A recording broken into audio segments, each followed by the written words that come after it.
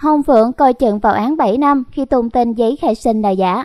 Thưa quý vị, đến hôm nay phía Phượng rồi vẫn cố tình nhem nha giấy khai sinh của Hồng Loan là giả để đánh tráo Hồng Loan mãi mãi là đứa ở nhờ, không liên quan đến tài sản của Vũ Linh. Bao Quốc Thanh là người ẩm bồng Hồng Loan về và cũng là người đồng hành cùng Vũ Linh làm giấy tờ cho Hồng Loan, đã lên tiếng phả vào mặt Phượng rồi một câu xéo sắc thế này. Ai nói khai sinh của Hồng Loan là khai sinh giả thì chuẩn bị ăn cơm miễn phí, ngủ có người canh nhé, hiếm có người được như vậy lắm.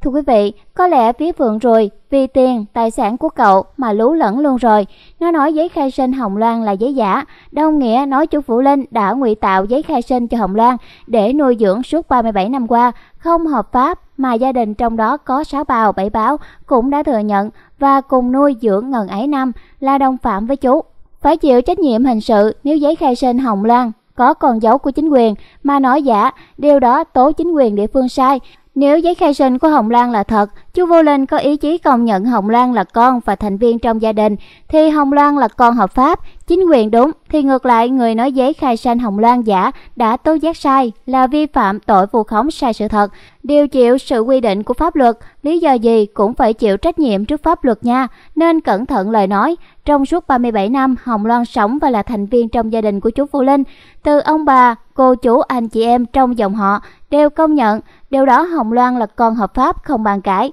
Đến khi Hồng Loan nhận thừa kế di sản của ba thì nói không hợp pháp là không đúng. Cho nên ngưng việc nói Hồng Loan là con không hợp pháp và tranh giành di sản của Hồng Loan. Vì Hồng Loan là người thừa kế duy nhất và hàng thứ nhất để Hồng Loan nhận di sản của cha. Hồng Loan có giấy khai sinh của mình, sổ hộ khẩu giấy chứng tử của ba quy định trong 24 giờ sau khi người mất phải báo tử đến địa phương Hồng Loan làm đúng luật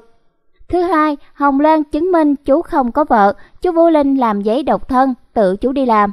Thứ ba, giấy chứng tử của ông bà nội, con tự đi làm, không phải sáu bào hay bảy báo, thì chú Vũ Linh tự làm và kèm theo giấy tờ nhà đất cho Hồng Loan. Thứ tư, Hồng Loan cũng phải có giấy xác nhận những người con nuôi còn lại không có giấy tờ công nhận chú tự đi làm. Bên cạnh đó không có một tờ di chúc nào khác, đó là toàn bộ hồ sơ nhận thừa kế của Hồng Loan. Tất cả chứng minh cho việc chú Vũ Linh đã chọn Hồng Loan là người thừa kế di sản của mình. Hãy ngưng tham vọng đến tài sản của cậu vì cậu đã chọn đúng người thừa kế. Con nuôi, con ruột, con hợp pháp, con nuôi, con ruột, ADN không quan trọng, đều chúng tôi đã thấy và đã biết Hồng Loan là con hợp pháp và đây là lý do làm chúng tôi phải lên tiếng lên tiếng vì sự công bằng và lẽ phải, lên tiếng vì một xã hội bình đẳng, thượng tôn pháp luật, một xã hội không chỉ có tranh giành và chiếm đoạt, một xã hội phát triển bằng tình tương thân tương ái, tình con người đối với một con người. Ngay từ đầu những người mà trước kia khi cố nghệ sĩ còn sống, họ luôn xem Hồng Lan là người trong gia đình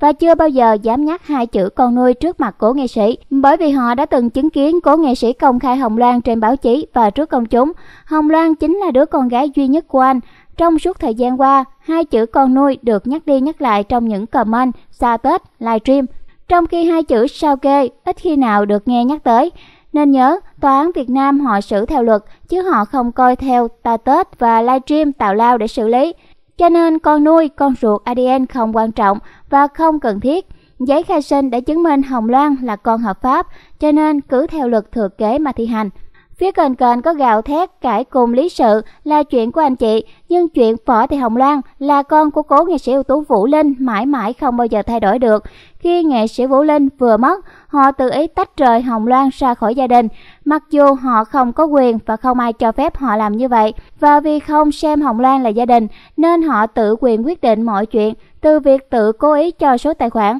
tự kêu gọi quyên góp xây mộ, tự ý độc quyền BH Media, tự thu chi, tự cho một con số tổng kỳ bí, tự cho mình vô tội, tự chiếm cố nghệ sĩ làm của riêng, tự cho người phù khống nhục mạ Hồng Loan, tự cho mình là đúng, tự tuyên bố mình không bao giờ khuất phục và không còn gì để mất sẽ chiến đấu cho tới hơi thở cuối cùng. Ủa vậy chừng nào mới tự sao kê? Giờ chứng minh Hồng Lan là gia đình để ngồi xuống giải quyết theo tính cách gia đình, đúng trách nhiệm, quyền hạn và bổn phận của từng người. Quả là chuyện khó. Bắt đầu quay trở lại ngày 7 tháng 3 và lẽ dĩ nhiên các tình tiết phải hoàn toàn ngược lại. Nếu như trước kia họ coi Hồng Lan là người gia đình và đừng làm cho Hồng Lan đau khổ thì bây giờ họ đâu có đau đầu vì hai chữ sao kê.